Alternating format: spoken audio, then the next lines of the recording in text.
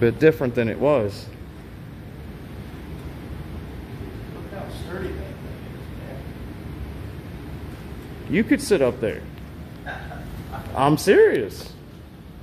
That is badass. You said you wanted a third, another person to be able to sit with their feet, having a place to go.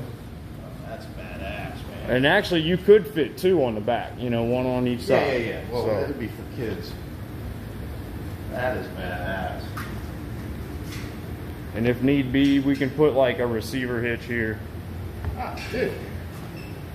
You know, somewhere in there if we had to.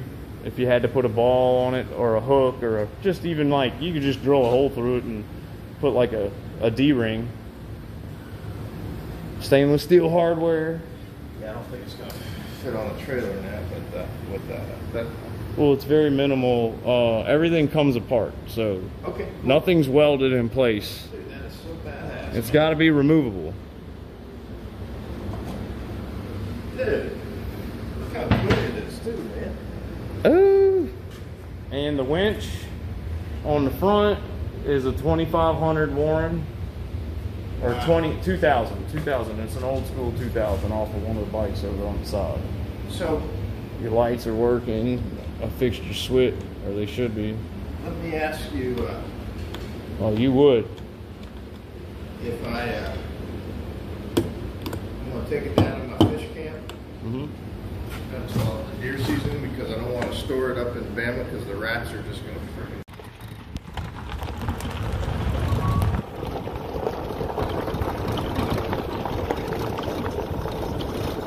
Quiet as shit.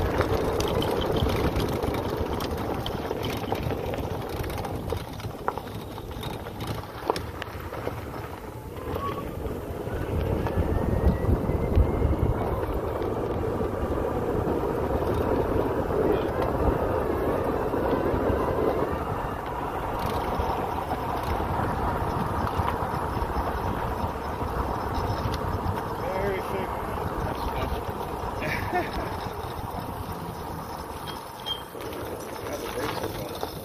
uh i mean they were there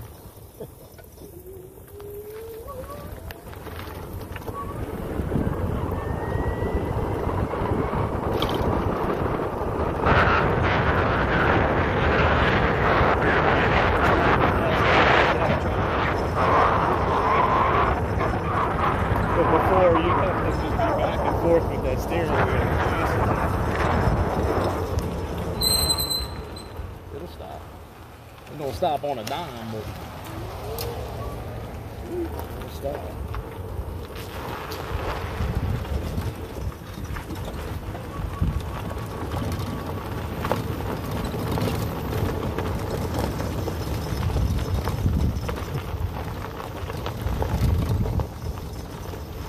The golf cart.